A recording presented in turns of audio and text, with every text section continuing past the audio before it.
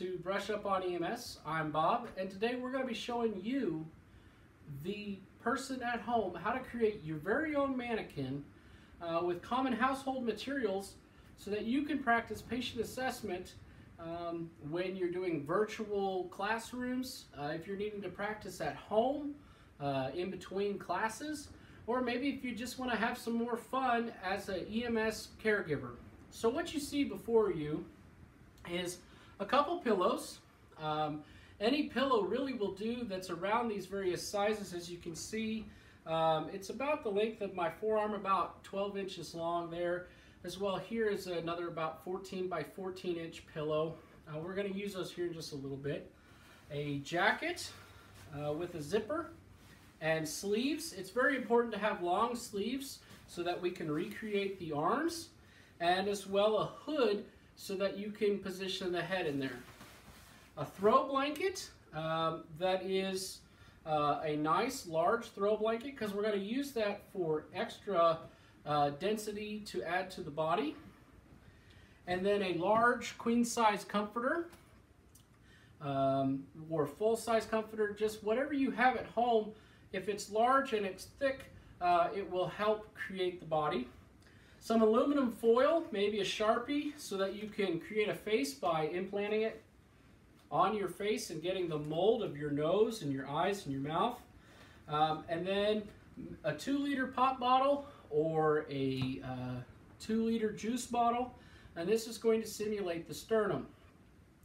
And then later on, after I go through how to create these, you can test around and you can play around with different mannequins and you can even make your own very little infant mannequin with sternum to practice CPR and practice OB delivery. So let's get right into this. So what you see before here is the uh, comforter laid out flat so we can get it as the length of a possible human body. Now realize we're not going to use the head, so we're going to need to fold down a little bit to add a little bit of circumference to the chest. So we're going to fold down about a third of the way. You might do a little bit less depending on the length.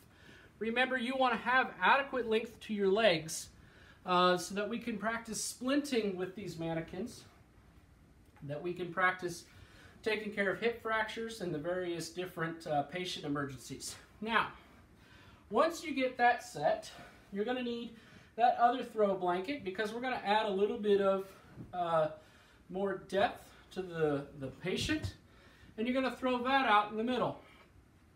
And this is going to get rolled up. And again, it's going to make a bigger chest, and it's going to add a little bit more to the legs. So we're going to start on whichever side is your preference. It really doesn't matter. But we're going to start on one side. And we're going to start rolling like we're rolling a cigar. And we're going to roll, roll, roll till we get roughly to the middle.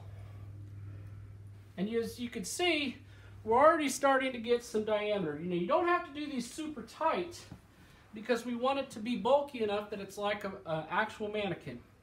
Then move to the other side. And you're going to, again, roll, roll, roll like a cigar. Roll it up towards the middle. And again, you see that we've got two matching sides. You can start to see the legs starting to take form. Now, one thing that I did mention in the previous video is you're going to need rubber bands. And these rubber bands are going to help hold your legs and hold your, um, your body in the form that we put it. So now comes the most technical part of it all. You're going to feel down till you feel that area that you doubled up the area on. So you can see the legs going further down there. I'm making the crease. And we're going to fold up. We're going to twist. And we're going to place down on either side. Okay, that again, let me go ahead and fold this back. Okay, so we have the legs. We're going to fold up. We're going to twist and we're going to fold down to either side. As you can see, it's already starting to take shape as a mannequin. So now all we have to do is apply our rubber bands to start creating the arms and the legs. So I use my knee to keep this in the nice form it is. I'm going to go up there, and this is going to create pretty much the bicep. We're going to come over to the other side. And this mannequin's a little wonky, but hey, every mannequin can be their own. Everybody's different, right? We're all God's creatures. And we're going to move down to the lower legs. And we're going to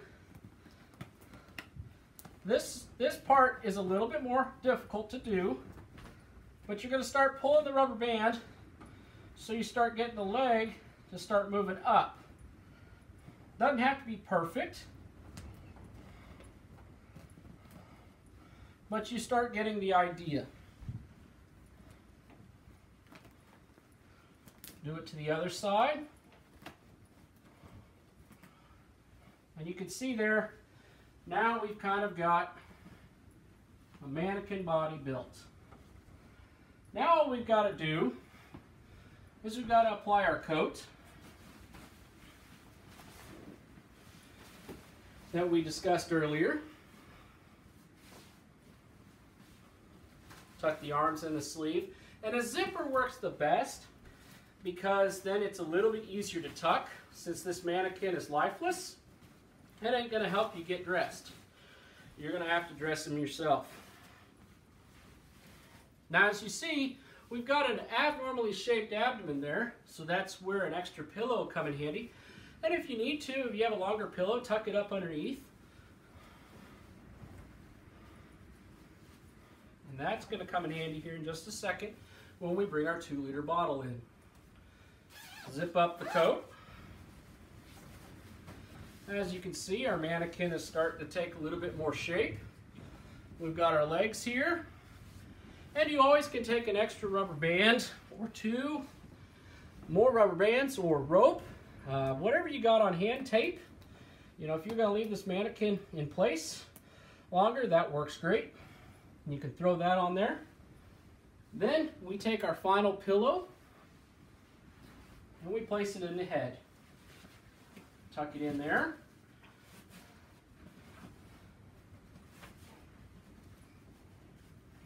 You need to make sure the head doesn't come off, if you've got one of those types of hoods that has a uh, zip ties around it, you can use that. Now all we have to do is apply the face. Throw it right inside that hood there.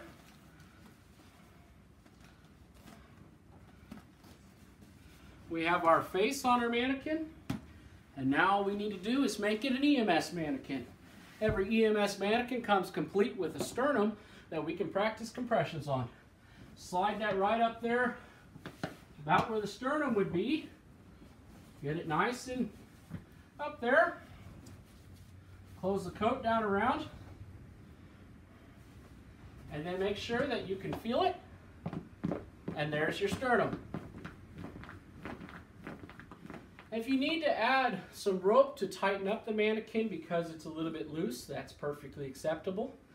But maybe you're practicing an OB scenario, so you need to set up your mannequin against your, your dresser. And you talk your, your patient through, ma'am, we're going to go ahead and deliver your baby, and you start positioning the legs in the position you need. You're checking for crowning.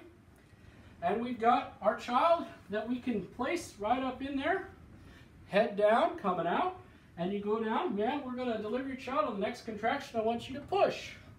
And you can deliver the child out. Oh, the child's not breathing.